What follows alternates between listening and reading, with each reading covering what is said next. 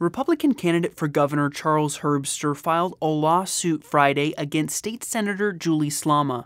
This comes a week after the Nebraska Examiner reported accusations that Herbster groped and inappropriately touched Slama and seven other women.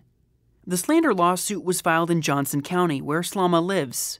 The lawsuit claims the Nebraska Examiner published defamatory statements that Slama had made about Herbster. It also claims that Herbster has, quote, suffered grievous harm to his reputation. The Nebraska Examiner reported Herbster reached up Slama's dress at a 2019 political event. When asked by the Examiner if the allegation was accurate, she confirmed it. Separate witnesses, according to the Examiner, corroborated the groping. The Examiner reported seven other unnamed women also say Herbster groped them. The lawsuit claims Herbster suffered damages that will be proven at a later trial. Oftentimes in slander cases, plaintiffs sue for money. In a statement Friday, Herbster says, quote, I will not stop fighting until the truth is told and my name is cleared. For Nebraska Public Media News, I'm Will Bauer.